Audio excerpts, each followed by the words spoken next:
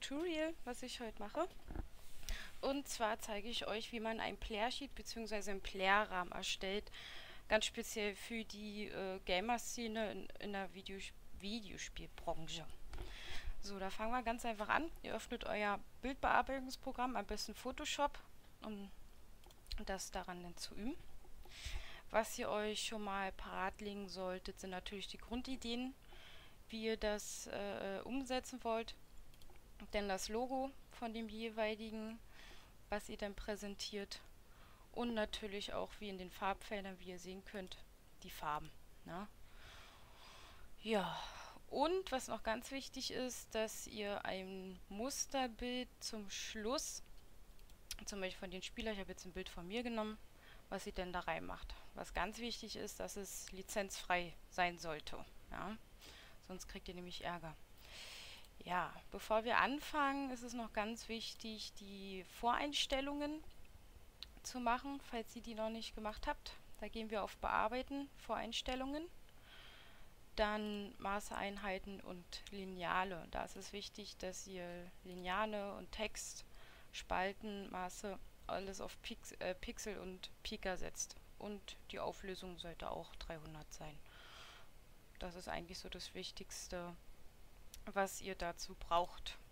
Gut, dann fangen wir mal an. Ähm, die Standardgröße für Playerrahmen ist, fangen wir mal noch, mal schließe ich mal kurz Datei neu, gehen wir erstmal.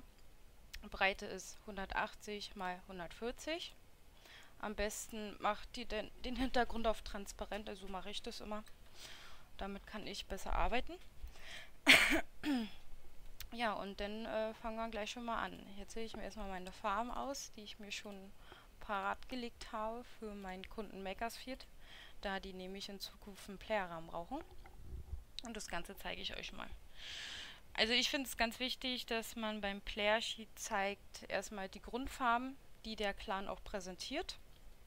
Ja, hier sieht man zum Beispiel, der Clan ist ziemlich blau enthalten. Und das machen wir auch so. Dann äh, fange ich mal mit dem Auswahlwer Auswahlwerkzeug an und mache mir mal eine Balken, sagen wir mal 30 Pixel in der Breite. Nimm das Füllwerkzeug und füllen die Ebene damit. Mit STRG J könnt ihr, wenn ihr auf Ebene 2 bleibt zum Beispiel, die Ebene kopieren. Dann gehen wir auf Bearbeiten, Transformieren und sagen um 90 Grad im Uhrzeigersinn drehen. Und dann passen wir das Ganze an. Sieht ja schon ganz schick aus. Das heißt, ich habe jetzt schon mal meinen Grundriss für den Playerrahmen. Und da das alles noch ein wenig lusch aussieht, spielen wir jetzt auch mit kleinen Effekten und ein bisschen mit Schatten und Farbverläufen, damit das alles ein bisschen brillanter aussieht. Also und dann nehme ich einfach meine dunkle Farbe. Ihr könnt entweder mit X switchen oder ihr geht mit dem Cursor auf den abgerundeten Pfeil und könnt die Farben wechseln. Ja?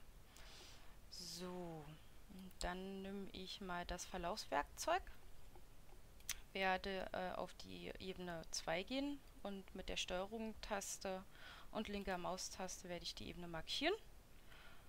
Werde eine neue Ebene machen und werde jetzt mal ein bisschen Blau mit reinmachen. So. Hier oben könnt ihr natürlich dann auswählen, ob das ein, ähm, linearer Verlauf sein soll, ein radialer ein Radialverlauf sein soll und andere Möglichkeiten. Also ich arbeite meistens mit den zwei. Hilft eigentlich ganz gut. So, mit der Shift-Taste könnt ihr die Linie natürlich gerade lassen, weil wenn ihr die Shift-Taste loslässt, dann wird die krumm und schief.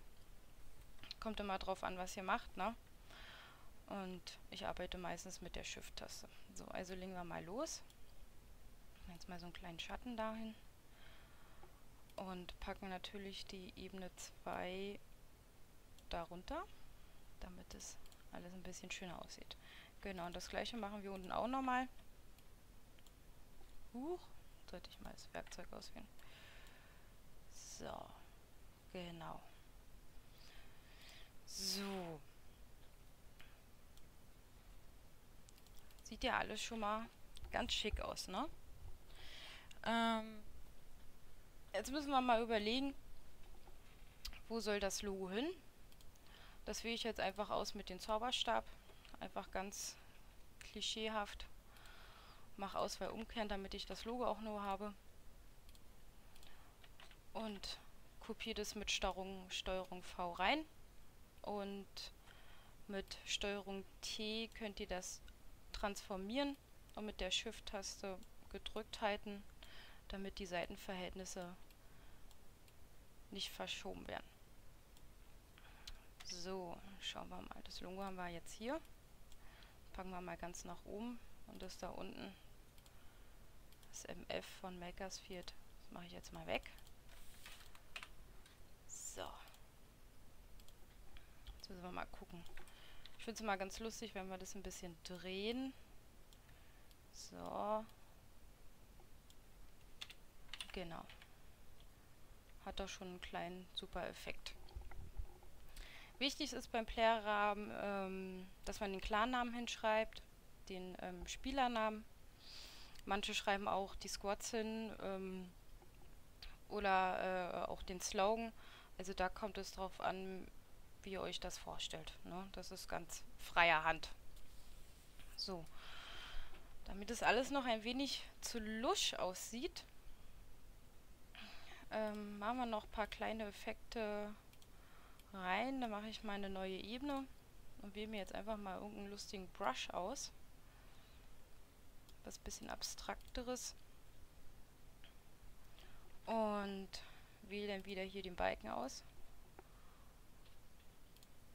Auf Normal, Modus auf Normal. Transparent machen wir mal ein bisschen so. Und die Brushgröße auch ein bisschen weniger. Dann schauen wir mal, was da passiert. Machen wir mal auf 50 Prozent. Und dann gucken wir mal, wie das aussieht. Naja, das gefällt mir jetzt nicht so. Ist ja nicht schlimm, da könnt ihr euch ein bisschen äh, ausprobieren. Ich arbeite sehr gern mit Brushes. Viele sagen, äh, mit Brush arbeiten kann jeder. Ähm, kann sein, aber die Brushes richtig einzusetzen, das muss man auch erstmal können. Ne? Schauen wir mal, was ich hier noch so zur Verfügung habe. Gucken wir mal hier rein. Mir wäre jetzt lieb, wenn wir irgendwas wie Steinrisse reinmachen oder sowas. Ein paar coole Effekte. Ja, sowas. Genau. So, das machen wir jetzt auch noch bei der anderen Ebene. Bei dem Balken unten. Wir machen das mal da drüber. Und schon sieht das Ganze recht in Ordnung aus, ne? So, dann machen wir natürlich jetzt einfach mal ein Bild von mir rein, um zu gucken, wie das schon mal wirkt. Auf ganz unten die Ebene. Skalieren das mal wieder ein bisschen. Man kann auf verschiedenen Arten und Weisen das Bild auch schon skalieren. Ich mache das jetzt einfach mal schn schnell so, in Schnellformat. Zack. Genau. So, jetzt müssen wir mal gucken. Irgendwie sieht mir das noch ein bisschen zu lusch aus. Dann nehme ich jetzt einfach mal den Zeichenstift und mache hier oben noch eine Abrundung rein linker Maustaste gedrückt halten, könnt ihr so eine Abrundung machen. Mit Rechtsklick Auswahl erstellen. Wichtig ist ein Pixel, damit die Kanten weich sind und nicht so abgehärtet. Und dann mache ich hier nochmal eine neue Ebene mache das ganze Spiel nochmal. Kann ich das hier auch wieder mit linker Maustaste und Steuerung, wenn ich in die Ebene hier reinklicke, wieder auswählen. Und dann Verlaufswerkzeug. Dann machen wir mal hier um. Da noch so wo wir es jetzt hier reinsetzen. Ah.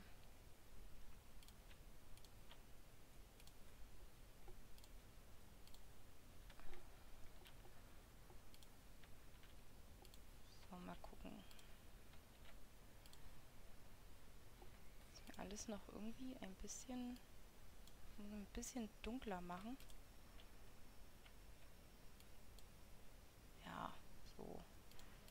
Genau. So, jetzt sieht man natürlich in dem Bereich hier die Kante. Die zaubern wir jetzt einfach mal ganz einfach weg. Wir gucken, was wir da verwendet haben in den Ebenen. Schauen wir mal. Das genau. Und zwar nehmen wir einfach jetzt wieder den Over, ich sag mal das, was wir mit dem Zeichenstift gemacht haben. Wählen wir aus, nehmen den Pinsel, drücken Modus löschen und nehmen die normale Pinselspitze, Härte 0. Größe machen wir mal ein bisschen weniger. Zack. Löschen das alles mal so ein bisschen.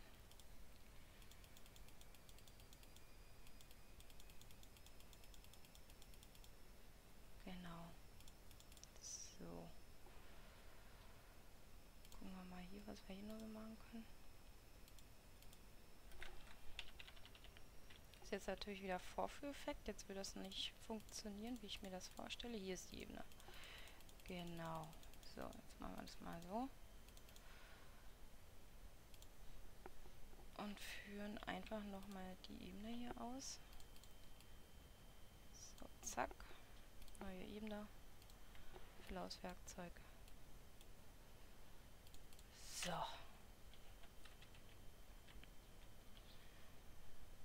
Das können wir jetzt zum Beispiel, weil das ziemlich glatt ist, die Oberfläche, und wir ja gerade einen Brush benutzt haben, dass wir jetzt zum Beispiel den Brush äh, auf Löschen nehmen. Dann wählen wir den Brush wieder aus, den wir vorhin genommen haben. Oder einen anderen Brush, damit es einfach ein bisschen besser aussieht.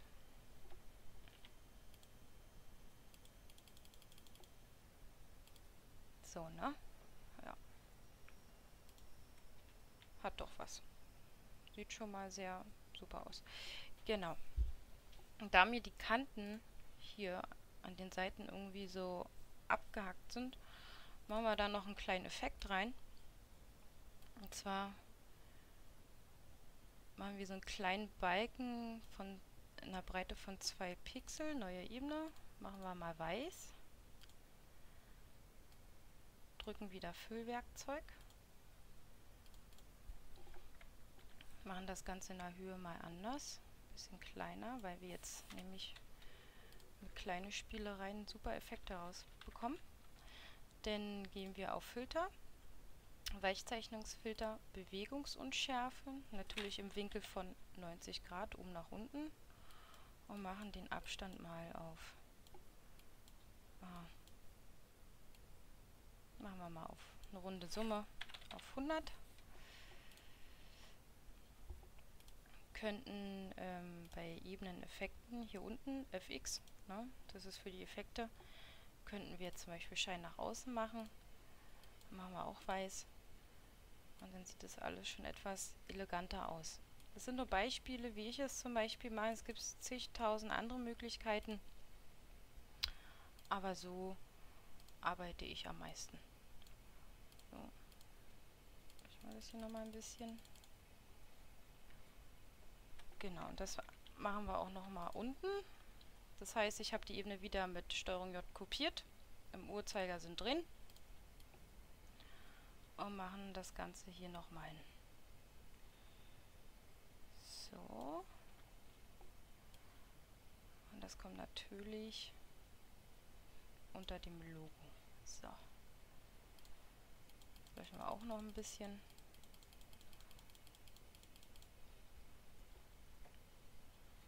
Und da wir hier oben eine Abrundung drin haben, werden wir das jetzt wieder mit dem Zeichenstift nachholen. So ungefähr.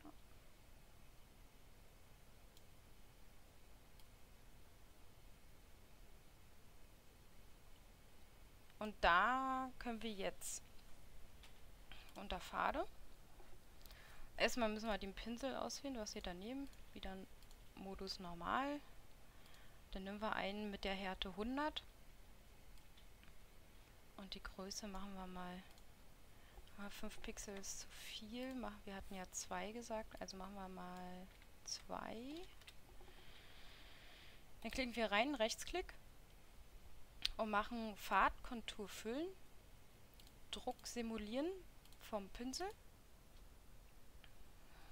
Oh, ich habe die Deckkraft vergessen. Deckkraft müsst ihr natürlich nicht so wie ich auf 50% machen, sondern auf 100%. Farbkontur füllen, Pinsel, zack. Dann können wir hier mit Rechtsklick den Pfad löschen, damit er wieder draußen ist. Und schon haben wir den Pfad für oben. Jetzt habe ich das natürlich nicht auf einer Extra-Ebene gemacht. Ich mache das mal auf einer Extra-Ebene. Da solltet ihr aufpassen, dass ihr nicht in einer, in einer anderen Ebene arbeitet. So, und hier machen wir es jetzt nicht ähm, mit dem Bewegungsunschärfe. Hier mache ich einfach nur mal einen Schein nach außen. Mache den auch wieder weiß. Und die Größe 3. So. Können wir auch mal hier wieder ein bisschen löschen. Damit man einen kleinen Bewegungseffekt drin hat. So. Genau. So sieht es eigentlich schon ganz schnieke aus. Jo. So. Jetzt kommt es eigentlich drauf an, äh, wo ihr was hin haben wollt, wo der Username hin soll, äh, beziehungsweise der Clan-Name. Das machen wir jetzt einfach mal in Schnellverfahren. Makers Field. Wenn er das jetzt hier mal machen würde, da ist es schon. So, nehmen wir mal auf 100%, wie das aussieht. Ich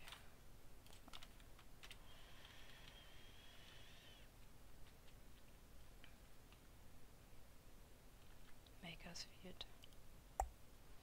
So, sieht eigentlich schon ganz super aus.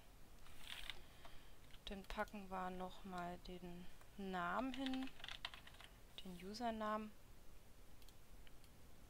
Können wir jetzt hier unten zum Beispiel hinpacken mit der Schrift kleiner auf 14.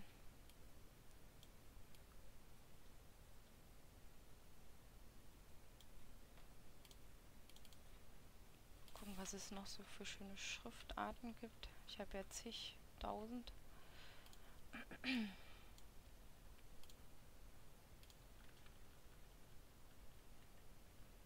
Also da könnt ihr denn äh, mit der äh, mit den Schriften, das könnt ihr heute euch auch aussuchen. Also es ist alles einfach eine Kreativität, die ihr euch überlegen müsst, wie ihr die Grafik basteln wollt.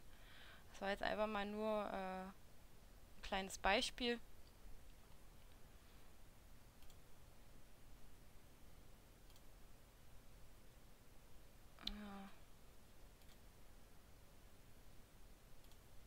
Müssen wir erstmal gucken, was wir hier nehmen. Also wie gesagt, ist mein erstes Tutorial. Ich entschuldige mich dafür für diese lange Sucherei. Ich habe das einfach ganz spontan gemacht, ohne jeglichen Idee.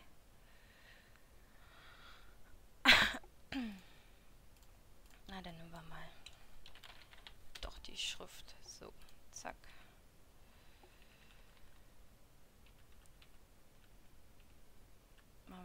Makers 4 rein.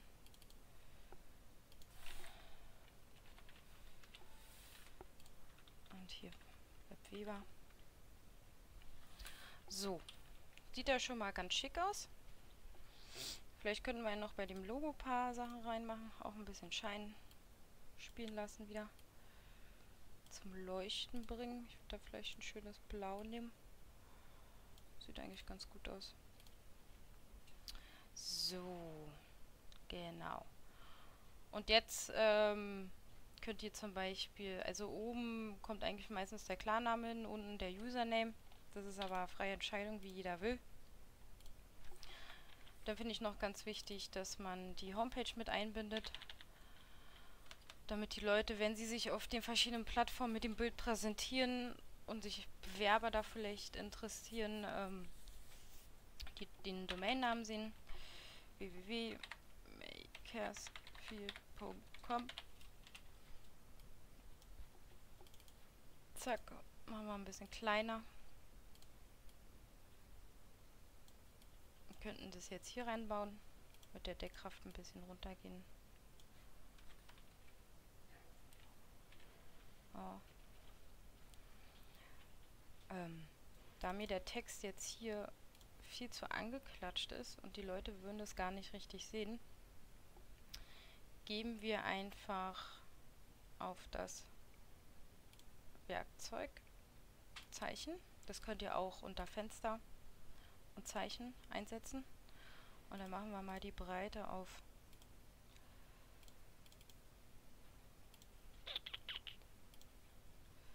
auf die Breite auf 50 und dann sieht man das alles schon. Ne?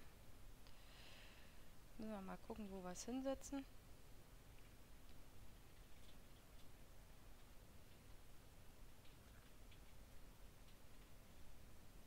Tja, wo setzen wir das jetzt hin? Wir lassen das erst einfach mal so hier. Macht draus eine Ebene und werde das www mit dem Punkt einfach mal weglöschen. So. Dann sieht es ja alles schon wieder viel besser aus.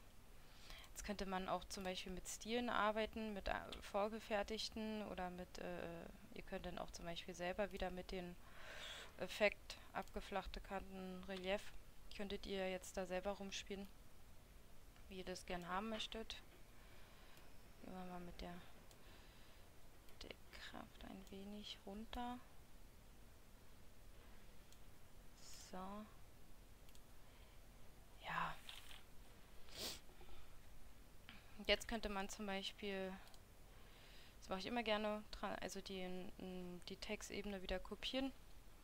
Im Uhrzeigersinn drehen. Und jetzt könnte man hier noch ein paar kleine Spielereien machen. Dass man einfach sagt, kopiere jetzt die Ebenen wähle die drei wieder aus, pack die ein bisschen höher. Den einen mache ich in der Deckkraft ein bisschen niedriger. Sagen wir mal auf 30 Prozent. Hier auch auf 30 Prozent. Und hier machen wir mal ein bisschen. So. Auf 60 Prozent. Hat das einen kleinen Effekt ja, wie gesagt, so würde das Ganze dann aussehen. Ähm und ich hoffe, das hat euch ein wenig geholfen. Ich wünsche euch weiterhin viel Spaß und auf den kommenden Tutorials, die ich machen werde. Ciao!